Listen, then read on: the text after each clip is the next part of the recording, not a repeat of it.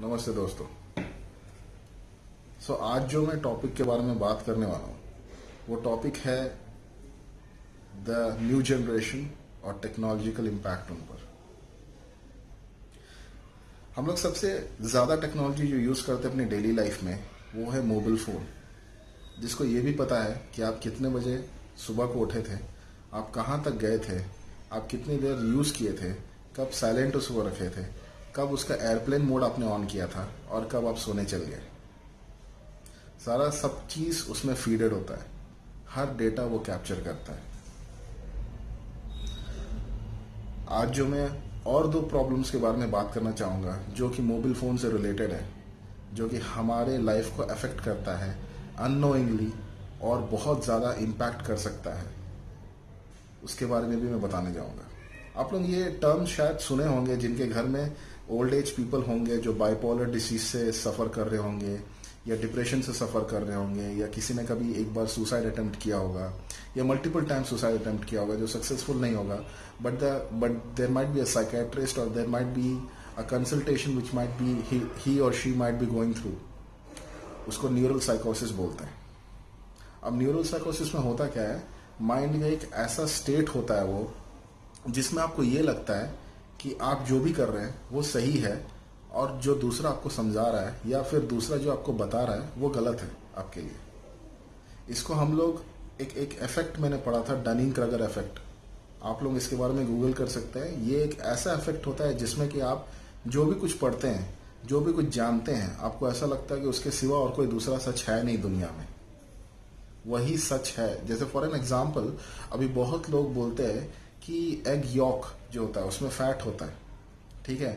Which is totally wrong egg yolk में fat होता है but it's not only fat there are many other minerals as well which we are exempting it by avoiding from eating to it and we just have the white one which is the food for the baby which is born in the egg okay so इस तरह के patterns मैंने बहुत सुना है, बहुत लोग बोलते यार, वो तो सिर्फ़ फैट होता है that's why I discarded that from eating करके।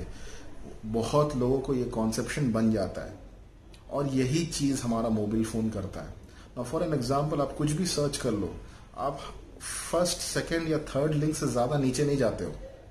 आप दूसरे लिंक खोलते नहीं हो। हो सकता है ऐसे कि उस आर्टिकल में कुछ ऐसा हो जो ऊपर के तीन आर्टिकल में ना हो। आपको ये पता होना चाहिए कि गूगल का सर्च रिज़ल्ट होता है वो पेड होता है। जो जितना ज़्यादा पे करता है, वो उतना ऊपर रहता है। जो जितना ज़्यादा कीवर्ड्स यूज़ करता है वो उतने ऊपर रहता है।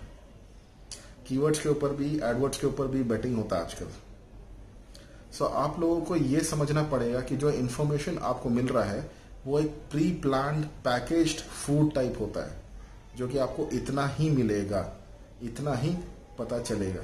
उसके आगे आपको देख करना है रिसर्च फॉर एन एग्ज़ाम्पल हमें सबसे खराब हैबिट हो चुका है हम लोग बुक्स नहीं पढ़ते हैं। हम लोग रेगुलरली वॉकिंग नहीं करते हैं। डेली लाइफ में, हम लोग कोई नई चीज़ या नए प्लेस विज़िट नहीं करते हैं, ठीक है? हम लोग वही प्रोग्राम्स बार बार देखते हैं, वही मूवीज़ हम लोग मूवीज़ के जो चैनल्स रखते हैं टेलीविज़न पर, वही मूवीज़ बार बार रिपीट होती है। तो एक रिकरिंग इफ़ेक्ट हो जाता है ब्रेन पर, उसका। And you have the recurring thoughts as well coming up in your mind so I would request you all to include walking as a part of your life daily walking at least five kilometers which will affect your health in a positive way आपके bone strong होते हैं, आपका metabolism increase होता है।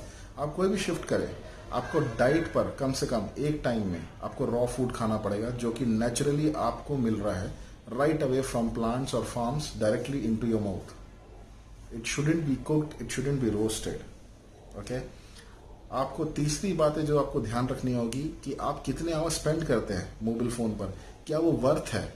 Is it really worth ना for example हम लोग Instagram Facebook YouTube even YouTube की बात कर रहा हूँ।